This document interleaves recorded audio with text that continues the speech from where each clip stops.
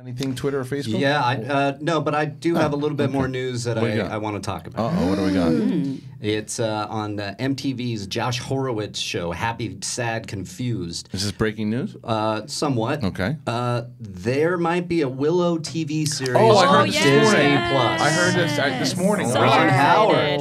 I was Ron on- Howard yes, is yes, yes, saying yes. It, it's a possibility, and Jon Kasdan is somebody. While they were making Solo, was like when there's Willow, winners are Willow, you know. yeah, yeah. And Disney so Plus this is is an something. Option. Talk about a, a reboot that actually should happen. Hell yeah! Well, look, this is uh, it's funny because I was on uh, Frosty, Heidi, and Frank. The the Amanda local- caught you this morning. Did she really? Yeah. Uh, the local show on uh, on KLOS here, and we talked about that. And this is why Disney Plus is such a game changer because you can do shows like this that, that they have in their library and take Willow, which is pretty beloved, right? And you can make a streaming service out of it, a- a, streaming uh, television series out of it. And I think it's a I would sign up to the Willow streaming service. Right? Give me, give me that. Just all Willow. Yeah. Willow, Just all Riley, do you think do you think that uh, Madmartigan is recast, or is Madmartigan come back as an older uh, fat Val Kilmer? Ooh. Well, you know, I Val Kilmer. I hope Val Kilmer comes back. He got in fighting shape Did he? for For what? Top Gun 2. Oh, did he really? Oh, He's shit. coming back. good. so, I think that if uh, that's the case and he, he gets a little mojo back, I, I would want to see Mad Morgan, Val Kilmer in this show. Me, me too. That would be great. I just don't know where they're going to set it. You know, is it, if it's going to be, you know, I, I I- I don't want a prequel. I would want New it to- Willow, or are they going with Warwick? Well, they got to go with Warwick. Not Yeah. necessarily. Not they're going to go young. Now, again. so How you got to he go with? Warwick In his Davis. forties. I mean, Okay, did- so Look he's what he's doing at Celebration. he's that guy's so running good. around having Warwick fun. Davis? he's probably in his forties.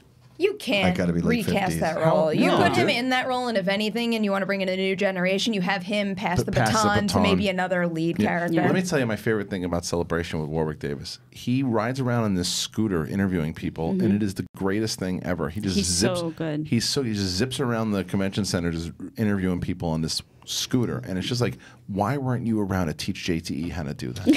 oh, Born February 3rd, 1970. So he's almost 50. He's almost 1971. So 1970. he could, 1970, he so he's could be 49 on years it. old, yeah. He could- see, this is when we need Nathan Riley. Right. Yeah, well, Well, I think I think Perri's right. I think that if you if you wanted to use him in that way of like he's the adventure has con- continued. Well, if you use him, then you have to use Val Kilmer as Matt Morgan. You guys have seen Life's Too Short, right?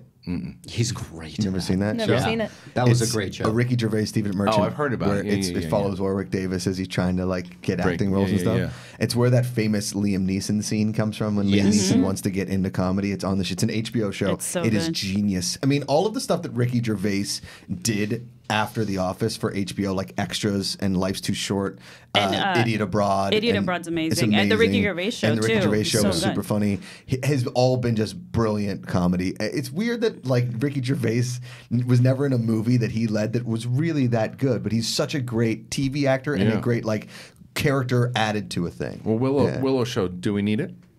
Yes or no? No, but I want it. Fair enough. Do we need it?